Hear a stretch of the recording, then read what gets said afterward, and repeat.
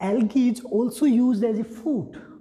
In Phaeophyceae, Alaria, Laminaria and Sargassum are used as food. In Rhodophyceae, Porphyra, Chondrus, Cartina, Gracilaria, Gelidium, these are used as a food.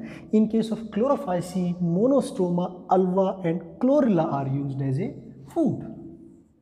In case of blue-green algae, nostoc and spirulina also used as a food and this spirulina have 60% protein content that is maximum in any species. So this spirulina is used as a major source of food.